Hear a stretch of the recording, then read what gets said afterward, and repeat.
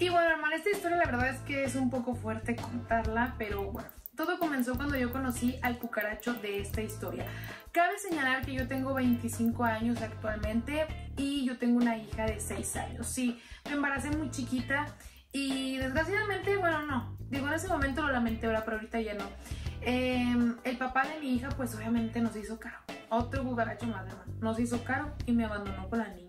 El caso es que yo entré a trabajar a una empresa en donde conozco a Jorge, el protagonista de esta historia. Yo conozco a Jorge y este, yo llevaba como un año trabajando en esa empresa y Jorge llega, llevaba ya muchos años. Él era muchísimos, muchos más años más grande que yo. Pero, pues no sé, era como que mi compañero de trabajo y hasta ahí. Desde el primer día que yo entré ahí, la verdad es que Jorge se portó súper bien conmigo y yo, o sea, uno como mujer sabe, ¿verdad? Él me echaba como que las miraditas coquetas y como que, ay, que no sé qué, y me daba detallitos que una flor, que un desayuno, los chocolates, no sé qué, más flores y así. Entonces un día platicando con él, Jorge me confiesa que él ha estado enamorado de mí desde el primer momento en que me vio. O sea, él me dijo, yo desde que te vi, muñequita preciosa, para mí fuiste como que wow, entonces fue amor a primera vista. Y yo pues para ese momento a mí Jorge no me gustaba, decía, pues podría ser mi papá, la neta no, no me gustas, ¿verdad? Todo el tiempo que yo estuve trabajando ahí en esa empresa, Jorge y yo éramos muy buenos compañeros de trabajo, pero todos los días Jorge siempre se portó muy bien conmigo, o sea, independientemente de lo amable, él era muy detallista, era muy lindo, era muy atento y la verdad es que hermana, pues a no le gusta que sean así con una. El tipo era así como, ay, qué guapa te ves hoy, qué hermosa estás, me encantan tus ojos, me gusta tu cuerpo, tienes una cara hermosa. Y pues yo con él me portaba como que amable y así como que, o sea, como que sí trazaba mi distancia, pero sí le daba entradas, hermana, porque sí me gustaba que me tratara así. Me encantaba que me trataran así. Y pues mira, no es por presumir, hermana, pero yo sí estoy guapa. Entonces, pues yo parece yo tenía muchísimo tiempo sin estar con un hombre de nuevo, desde que dejé al, al papá de mi hija, yo ya no me había involucrado con nadie, entonces como que era la primera vez después de mucho tiempo, entonces yo me sentía muy bien, me sentía muy halagada, ¿sabes? Esa es la palabra, halagada. Y pues a qué mujer no le gusta sentirse halagada, ¿no? Entonces, este, pues para ese momento te digo, mi Jorge para mí era como un compañero y ya, o sea, pero tampoco me incomodaba que me dijera todo eso. Pasó el tiempo y yo renuncié en esa empresa porque tuve problemas con mi jefe directo ya que me acosaba demasiado.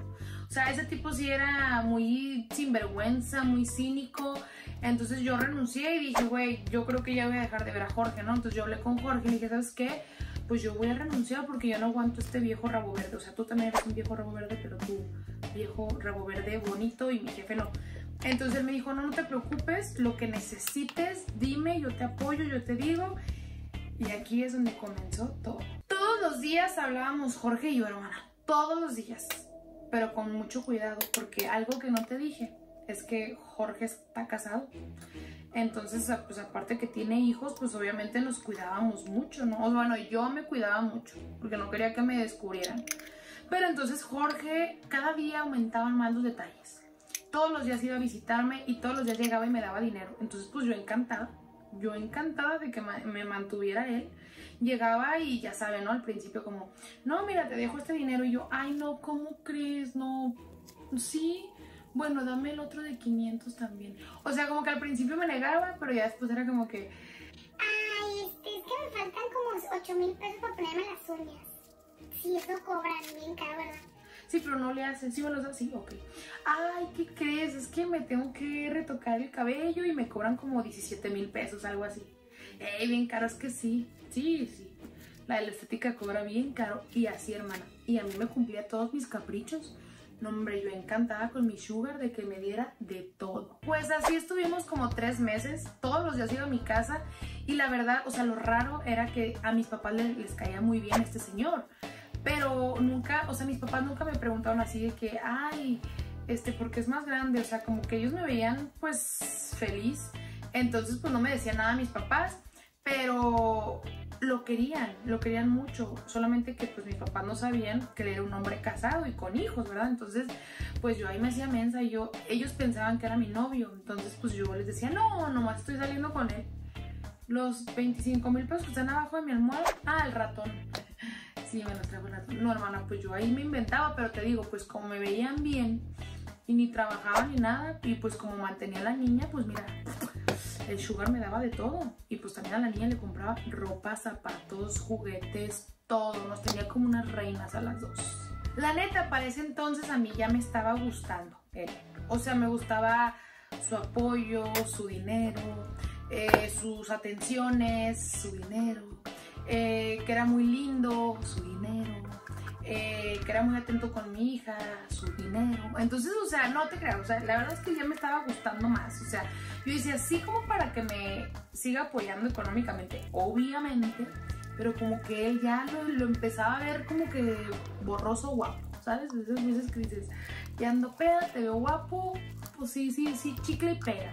Pero no sabía qué hacer porque yo también no quería andarme escondiendo. O sea, sí, un sugar, pero como que también andarte escondiendo de la gente y todo eso. Pues mejor agárrense un sugar soltero. Porque para qué casado. Yo realmente sabía las broncas que me podía meter y los problemas que me iba a meter sabiendo que iba a andar con un casado. Pero la verdad, a mí ya no me valía. No, hermano. Carrito nuevo, extensiones nuevas, uñitas nuevas, juguetes nuevos para mi hija.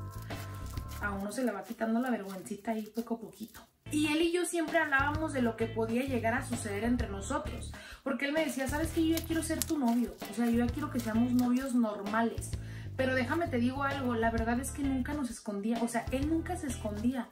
Yo, por ejemplo, no sé, me iba a comer con mis amigas y le hablaba y pasaba por mí, me subía al carro con él, iba por mí a la escuela, iba por mí a mi casa. O sea, él de verdad nunca se escondía, íbamos a comer, a cenar. No era como que no, hay que cenar aquí para que no nos vean. No, hermana. O sea, íbamos a los mejores restaurantes, nos la pasábamos juntos y él quitado de la pena. Y si él estaba quitado de la pena, que era el casado, bueno, pues cuanto menos yo. También andaba ahí como reina de primavera, pues bien, bien emocionada. Entonces, algo sucedió.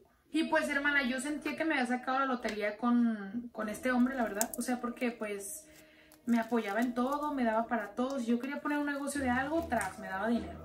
Que yo quería esto, tras, me lo compraba. Que yo quería tal, me lo iba. O sea, era muy feliz. Entonces te digo, a partir de ese momento nos hicimos novios formales o novios normales, no sé cómo se pueda llamar. Y este, al mes de hacernos novios así, pues yo le entregué todo de mi hermana, todo, cuerpo, alma y ser. Y yo te digo que pues yo tenía mucho tiempo que no estaba con un hombre, o sea, ¿sí me entiendes? Entonces, este, yo le entregué mi amor por completo, le abrí las puertas del amor al cucaracho. Él nunca me presionó ¿eh? así que no, no, nunca. Él siempre me respetó y me dijo hasta que tú estés lista, yo no te voy a presionar, yo no quiero, si no quieres, no, está bien, o sea, tú tranquila este, no quiero que te sientas presionada. Y yo la verdad, pues yo también le traía ganitas, hermana, pues es viejito y todo, pero pues tenía ahí sus arruguitas, su pelito. No sé, hermana, como que a mí también ya me hacía falta ese calor humano. Ay, no, hermana, pues la mejor noche de mi vida que un hombre me pudo haber dado en toda mi vida. O sea, ¿cómo te explico? Una cosa deliciosa ese viejito que diga ese papacito. No, hombre, me la pasé increíble. No, pues yo en las nubes. Imagínate, yo todo tenía con él, todo tenía con él. Y pues sí, al principio sí nos cuidábamos, ya sabes, nos protegíamos, ¿verdad? Cualquier cosa. Y ya después como que uno le vale, como que uno agarra confianza y dice, ah, este viejito, ¿qué puede pasar? No me puede embarazar, no pasa nada, no sé qué. Entonces dije, no, ya no me voy a cuidar. Ahí como que, ay, sí, hoy no, ay, sí, ya sabes. Como que te empieza a valer a veces. No lo hagan. Él seguía, o sea, después de nuestro primer encuentro amoroso, él seguía siendo la misma persona linda, ¿eh? O sea, no cambió para nada, él seguía siendo súper buena onda, súper lindo. Y yo para ese entonces, eh, como siete días después de eso, pues yo empecé a sentir un dolorcito allá, en el tesorito. Entonces yo dije, ay no, y como me acababa de bajar de tener mi regla, yo dije, bueno, a lo mejor es eso, ¿no? La toalla me irritó, no sé, hermana, algo que te puedas imaginar. Yo dije, no, hombre, pues fue eso, y fue eso, y fue eso, y fui dándole largas a eso. Ahí como podía me untaba una crema y que, ay, que para la rosadura, que para no sé qué, pues yo pensaba que era eso. Pues bueno, mi regla pasó, mi periodo pasó y yo seguía igual. Es más, cada vez empeoraba más ese dolor que yo sentía. Entonces yo dije, ¿sabes qué? Tengo que ir con el ginecólogo para ver qué está pasando. Yo con el Jesús en la boca rezándole a la vida y a todos los santos bajé a todos los santos, hermano. Pues para pedirle a Dios que no fuera nada grave. Entonces llegué con el ginecólogo, me revisó. Y efectivamente estaba contagiada de una enfermedad de... Y yo estaba como que en shock, no lo podía creer. Yo le dije al doctor, pero es que a ver cómo, o sea, la única persona con la que he estado desde hace unos meses es nada más con esta persona, no sé. Me dijo, mira, tranquila, habla con él, este, que se revise también, ¿no? Porque pues... Y yo pues lo primero que hice fue salir, hablarle al cucaracho y le dije, güey, ven para acá porque no sabes lo que acaba de suceder.